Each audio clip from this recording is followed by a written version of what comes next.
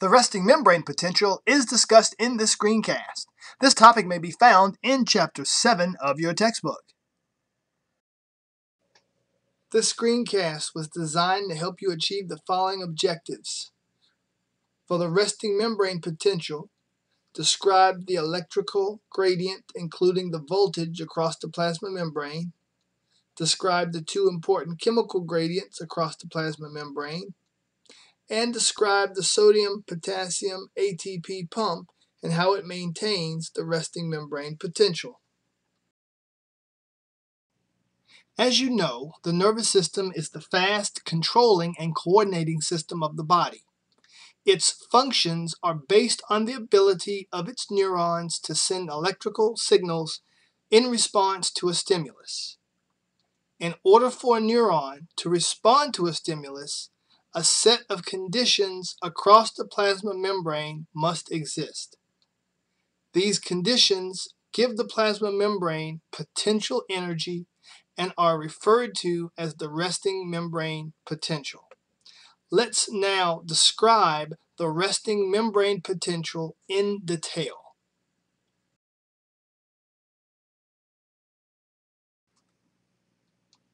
This blue structure in the middle of your screen represents the plasma membrane. The extracellular fluid, that is the fluid that's outside of the cell, is here on this side of the plasma membrane. And on this side, we have the intracellular fluid or cytosol. There are potassium ions located both inside the cell and outside the cell. However, the, the concentration of potassium ions is much greater inside of the cell compared to the concentration of potassium ions outside of the cell.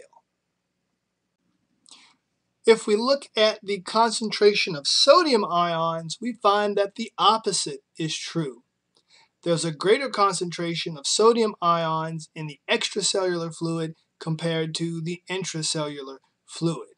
And the sodium ions in the extracellular fluid outnumber the potassium ions in the intracellular fluid. So when we add up all of the positively charged potassium and sodium ions in the extracellular fluid, there is a greater concentration compared to the potassium and sodium ions in the intracellular fluid.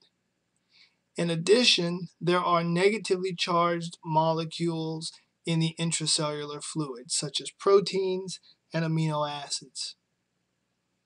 This makes the extracellular fluid more positive compared to the intracellular fluid.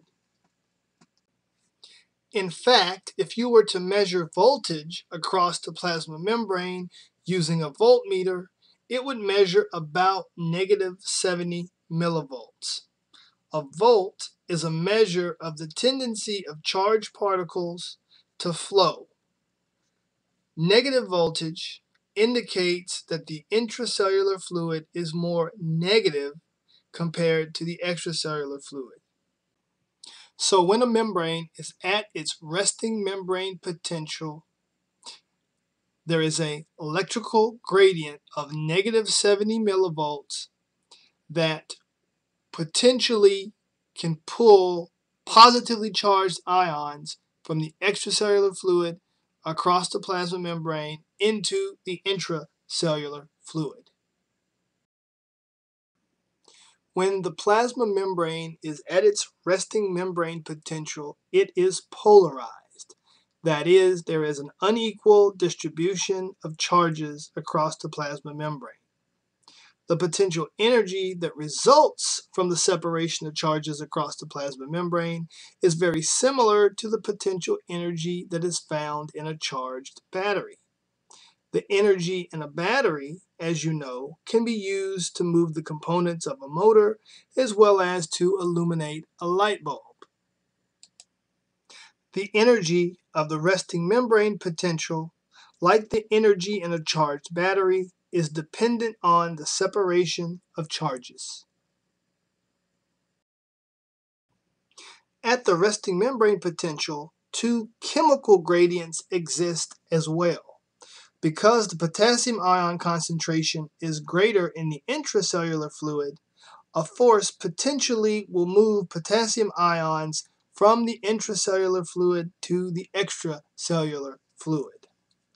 And conversely, because the sodium ion concentration is greater in the extracellular fluid than the intracellular fluid, potentially a force will move sodium ions from the extracellular fluid into the intracellular fluid.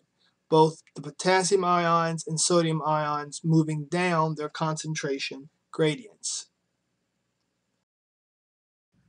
In conclusion, the resting membrane potential is an electrochemical gradient. An electrical gradient exists that creates a force that has the potential of moving positively charged particles from the extracellular fluid to the intracellular fluid. Chemical gradients also exist for potassium and sodium that create forces that have the potential of moving potassium and sodium down their chemical concentration gradients across the plasma membrane. Question. If the plasma membrane is not permeable to charged particles, do sodium and potassium ions ever cross the plasma membrane?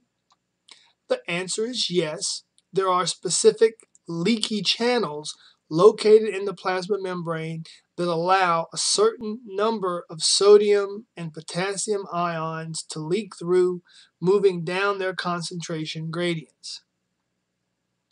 The obvious follow-up question is, well, if sodium and potassium ions constantly leak through the plasma membrane, how is the resting membrane potential maintained? I mean, if leakage occurs indefinitely, eventually there will be no sodium and potassium gradients. The answer is the sodium-potassium pumps. These pumps maintain the resting membrane potential by returning leaked potassium to the intracellular fluid and leaked sodium to the extracellular fluid, maintaining the resting membrane potential.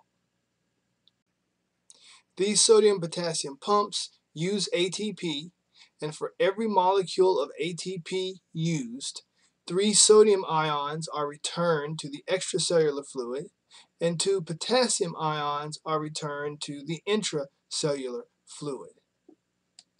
The sodium potassium pumps are constantly at work, so ATP is constantly being consumed by these pumps. In fact, the sodium potassium pumps account for about 70% of the total energy used by the nervous system. Let's now review the objectives of this screencast. For the resting membrane potential, describe the electrical gradient including the voltage across the plasma membrane, describe the two important chemical gradients across the plasma membrane, describe the sodium-potassium ATP pump and how it maintains the resting membrane potential. The next screencast will discuss nerve impulses.